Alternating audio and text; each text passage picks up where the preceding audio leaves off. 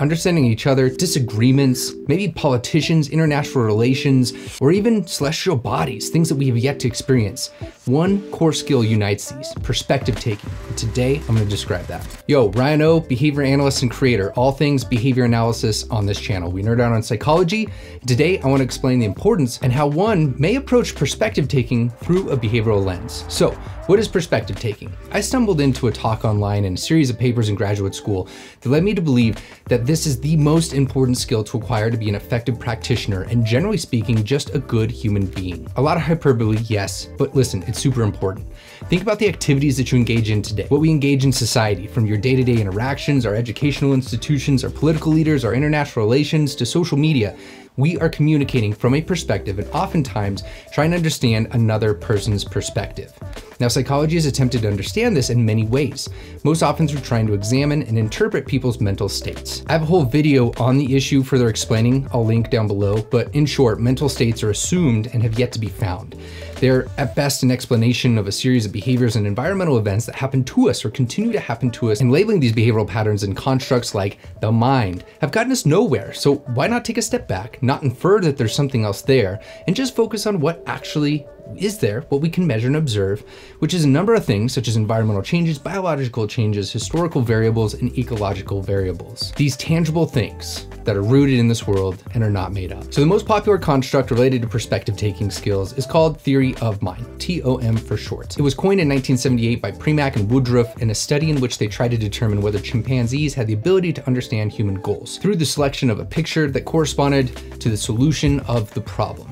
Now, they outlined five levels. Level one, simple visual perspective taking, which is just understanding that an object can be seen from multiple perspectives. So while you see the top of the hat, I actually see the other side of the hat. Level two, complex visual perspective taking, which entails understanding that people can see the same object or event in different ways.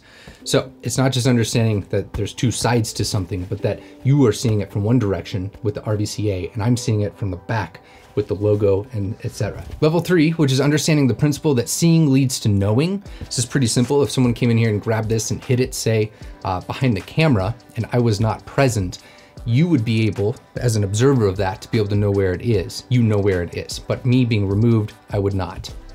Level four is predicting actions on the basis of a person's knowledge, which describes the ability of a person to accurately predict the behavior of another based on the understanding of what they had seen. So in that scenario that I just said, in which someone comes in here, hides it, you're in the room and you can see it and I can't, you would predict that I would be looking at wherever it was last, perhaps on the shelf back here, rather than where it was actually hidden. And then level five is understanding false beliefs, which describes the ability of a person to accurately predict what another is likely to do based on another person's limited vantage. You would actually be able to predict me looking in one place as opposed to where it's actually at, hidden behind, say, the camera. Some of the main things researchers have looked at are when and how people gain the ability to behave with respect to other people, such as anticipating these beliefs and desires or understanding false beliefs, which a simple example of this might be to include an observer, Mark, who sees Joe place a drink in the refrigerator and leave the room. Subsequently, Mark sees another person, Jenny, walk into the room and consume the drink. Mark would predict that Joe then walks back into the room and he will behave as if there is a drink still in the refrigerator, even though he, Mark, knows that the drink is really gone. In lay terminology, Mark's behavior might be described as taking Joe's perspective. Without this ability, Mark would behave towards the refrigerator as if it were empty and would predict that Joe would do the same. The ability to better predict and behave towards others based on their different histories brings a multitude of benefits to the person who can take perspectives. This is just one example stolen directly from my thesis on the topic, which I'm gonna link down below. Completed it while at the Florida Institute of Technology studying Yep, behavior analysis. So that's the history and the why I alluded to. It seems to be the basis of not only communicating, but understanding others. The things that we do daily, and some of us, like behavior analysts in society, paid to do effectively for others. But these skills are also the basis for empathy, the building blocks for empathy, something we at oftentimes are in short supply of. So let's jump into an example. When a person feels another's pain. If Joe runs, falls, and scrapes his elbow. He may wince at the pain from the injury while a tear rolls down his cheek. Sometime in the future, let's say Joe is hiking with Jenny and she scrapes her elbow on a rock. Jenny engages in similar facial express expressions, the wincing, and begins to sob. Because Joe has the perspective taking ability, the similarity between the sight of Jenny's scratch, the wincing, and the tears, and his own reaction from earlier transfers those stimulus functions, those that pain from his history, his own experience, to the elbow scratch in the current situation of Jenny. Not only is he likely to more accurately predict her behavior, it is more likely that her pain will be aversive to him or unpreferred, right? And he will behave to alleviate her pain. The fact that Joe actually feels the pain is the critical feature of the phenomenon referred to as empathy. So how do behavior analysts look at this? Well, one way, and that's the one that I'm operating from in my thesis, is through relational frame theory. First, I and you. I, the speaker, you, the listener in this situation. Then there's here, there, this spatial component. I am here while you're here is actually there, and your there is actually my here. And then there's now then, the distinction between current and historical contexts, context such that the speaker can explain behavior that is currently occurring as here and now versus things that have occurred there and then. So if I was talking about myself in the past, I'd be talking about this then and there situation in which I was behaving in some past context. And you could probably do the same. Think of something in the past, you're behaving with this there then relationship. And it's through the combination of all these, the IU, here, there, now, then relations that form like the complex real world situations in which we perspective take day to day. And because the speaker is constant in this situation, me here, the I here now relations, this sort of ability to engage in this sort of languaging, what we call deictic frames, form the foundation of perspective taking. So perspective taking is the ability, due to languaging skills, of a person to engage in these relational discriminations, such that they can reverse the relations and combine them, engage with the stimulation of another based on that other person's experiences, at least to some exclusion of the speaker's experience and behave more effectively towards the other having done so. So for example, I is always from the perspective of here and not from another perspective there. Therefore, RFT suggests that the many different questions inherent in common verbal interactions establish our ability to do this at a very young age and take other people's perspectives.